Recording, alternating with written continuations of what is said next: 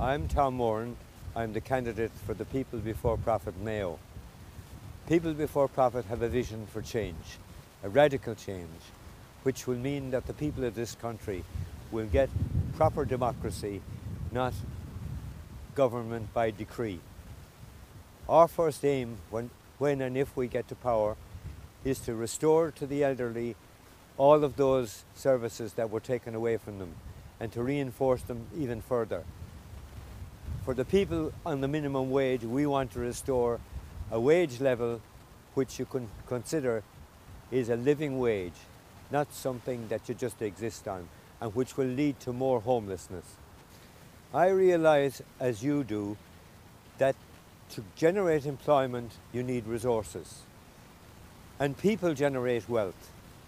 Without people, there isn't any wealth. In our case, the natural resources of our country have been treacherously given away to outside interests. We wish to claim those back and use them and develop them for the Irish people's benefit. In the banking sphere, we would prefer to see banks in public ownership.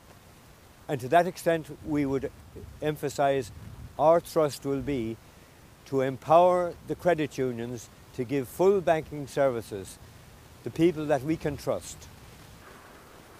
In Mayo, we are unique, I believe, in that we are the descendants of Michael Davitt, the Land League, the man who gave us back our dignity, the right to live in our own country. And for all citizens of this state, we owe him a huge debt. We intend to follow the policies of Davitt. We do not intend to privatise any of our state industries. All of these were built by the people. I appeal to the voters of Mayo to give me, Tom Moran, their number one vote. A vote for people before profit.